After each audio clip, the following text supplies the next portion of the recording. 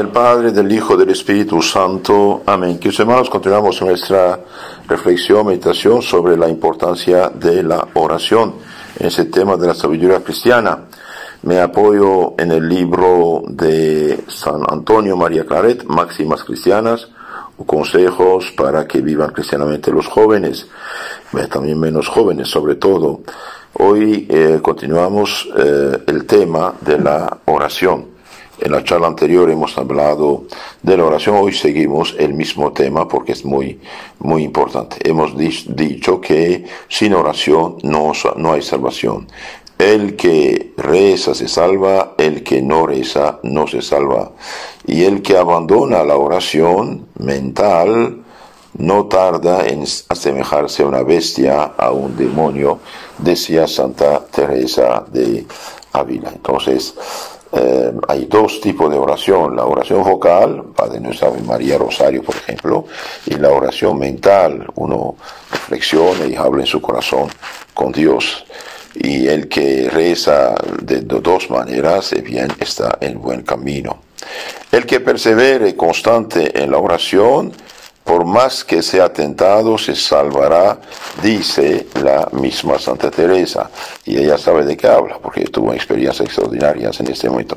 Cuando uno reza, cuando uno medita, reflexiona, reza en su corazón, eh, bien, el demonio trata de em, disuadirlo, de crear problemas, dificultades, para que no rece, y eh, sin oración no hay perseverancia. El que persevere constante, en la oración, por más que sea tentado, se salvará. Bien, seguimos rezando. Nada puede Satanás con el alma que se dedica constantemente a la oración, dice la misma santa.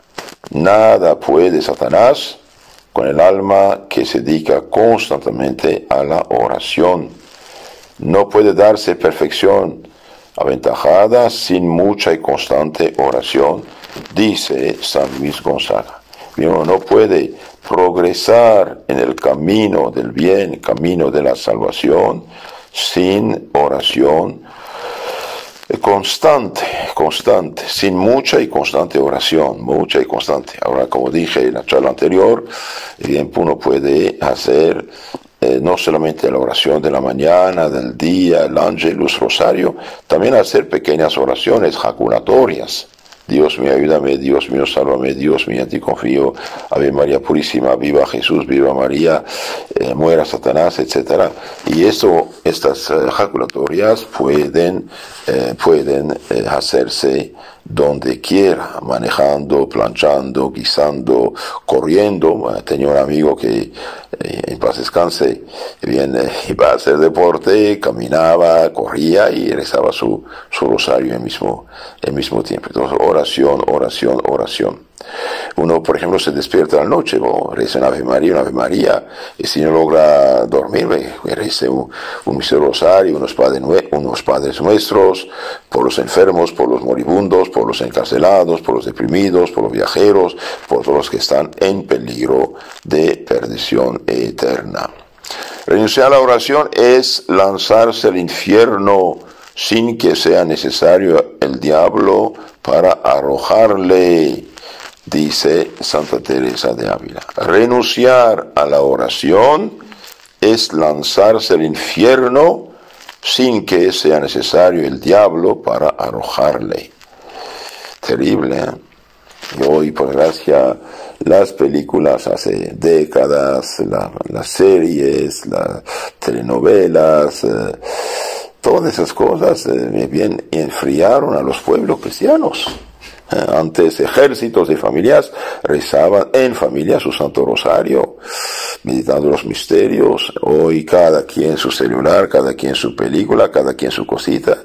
Es una, es un, y esto explica la situación actual del mundo. ¿ah? Explica la situación de mundo. Una, una pobre muchachita ignorante de todo, perdida, sensual, quizás ya en pecado, y bien va a mirar ver unas tonteras de películas, etcétera, y mañana va a votar por un abortista. A esto llegamos. Porque cuando uno no reza, viene, es como, como, como la planta que no recibe agua. Eh, un planta, una planta que no recibe agua, que no recibe sol, calor, va, va a morir Lo mismo la oración. Renunciar a la oración es lanzarse al infierno sin que sea necesario el diablo para arrojarle. La oración unida al santo sacrificio de la misa tiene una fuerza maravillosa.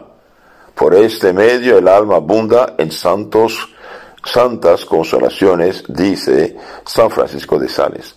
La oración unida al santo sacrificio de la misa tiene una fuerza maravillosa. Por este medio el alma abunda en santas consolaciones.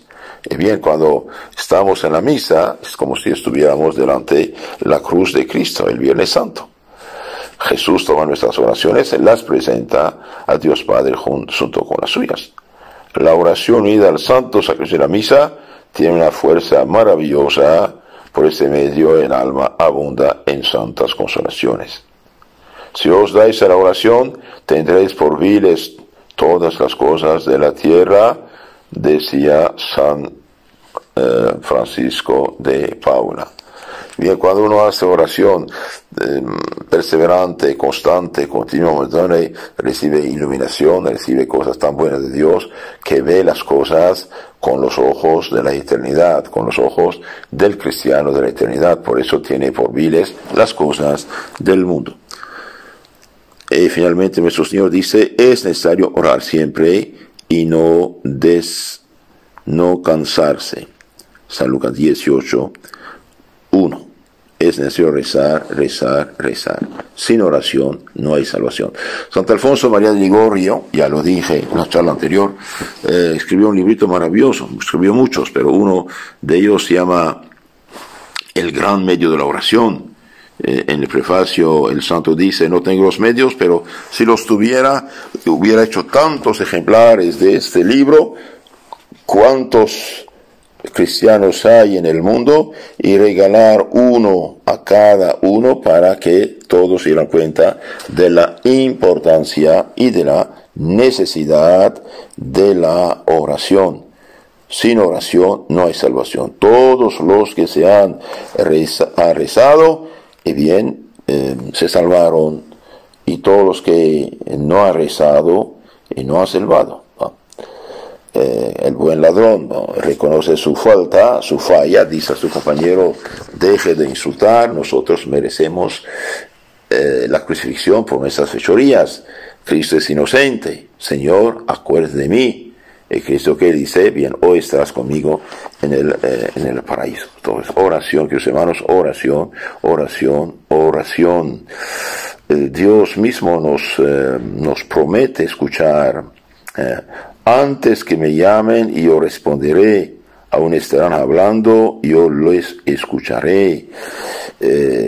ahora, no, Dios eh, decide las cosas, pero a veces uno quiere rezar y que las cosas ya lleguen un, milagro. paciencia, todo no depende de nosotros, Dios es más sabio, pero Dios nunca rechaza una oración, nunca aunque aparentemente en ese momento se ve que no, es bien Dios siempre escucha y siempre incluso nos da cosas mejores de las que pedimos. A veces quizás lo que pedimos no conviene a nuestro bien, a nuestra salvación. Por ejemplo, un joven enfermo en el hospital que pide y ora, pide sanación, se sana y al mes va a discotecas, se droga, se emborracha, fornica, regresa medio ebrio y drogadicto y hace una accidente, muere, va al infierno. Y bien, Dios, sabiendo que iba a hacer todo esto libremente, tontamente, y bien, no le da la, la, salud física que pide en ese momento. Entonces, paciencia, ¿eh? paciencia.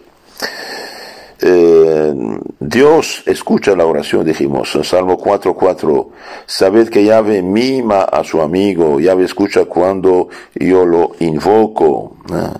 dice el Salmo 4.4. Salmo 40 o 39, 2. En llave puse toda mi esperanza, Él se inclinó hacia mí y escuchó mi clamor. Salmo 66 o 65, 17.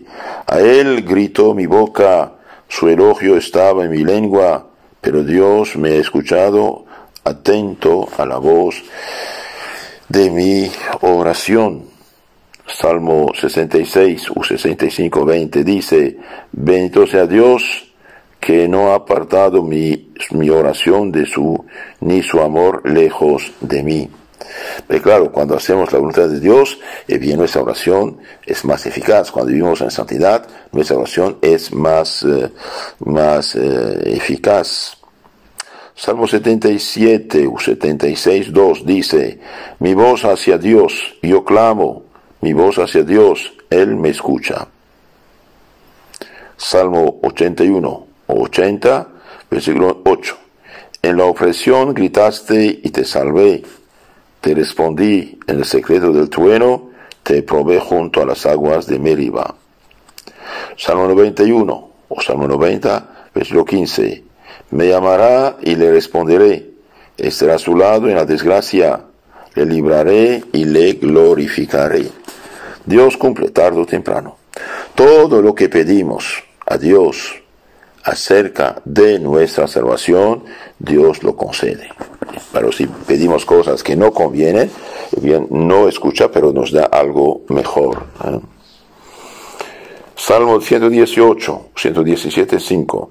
En mi angustia hacia llave grité, Él me respondió y me dio respiro. Salmo 120, 1. Hace llave cuando en angustias me encontraba, clamé y Él me respondió. Y tenemos un ejemplo extraordinario de, de, una oración hecha con fe, de un alma fiel a Dios, un alma que hubiera podido, digamos, eh, salvar su cabeza de la muerte segura si hubiera concedido un pecado y bien no consentió la santa mujer Susana cuando los dos viejitos quisieron pecar con ella, ella se negó, ellos por ser ancianitos, jueces, la, la acusaron, la calumniaron y finalmente fue condenada a muerte. Y miren la historia, la, la, historia, la, oración que hace eh, Susana antes de ir eh, a la muerte para ser apedreada.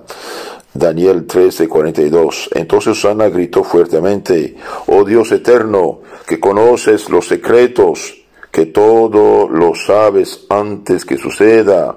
Tú sabes que estos han levantado contra mí falso testimonio y ahora voy a morir sin haber hecho nada de lo que su maldad ha tomado contra mí.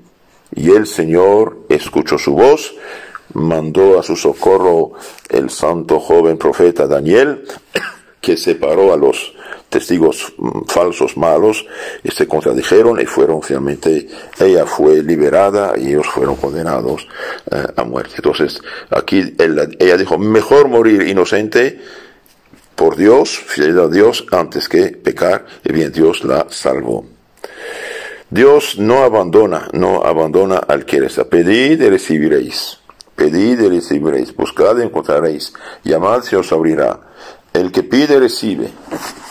El que toca la puerta se le abre. Bien, mis hermanos, pidamos al Señor misericordia, misericordia por nosotros, por los hijos, por los amigos, por los vecinos, por el mundo entero.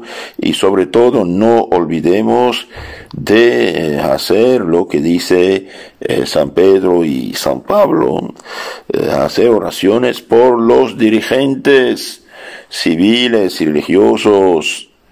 Hago oraciones, peticiones, súplicas, sacrificios por los dirigentes civiles y religiosos para que tengamos tiempo tranquilo, dice la Biblia. Eso también es muy importante. Todos critican, juzgan, etcétera, pero pocos, eh, pocos rezan. Y estas pobres autoridades digo pobres en lo espiritual, eh, pobrecitos vivos están sometidos a grandes presiones, hasta, hasta mesa de muerte a veces, por no, si no hacen lo que piden unas mafias ocultas. Entonces, recemos por los dirigentes.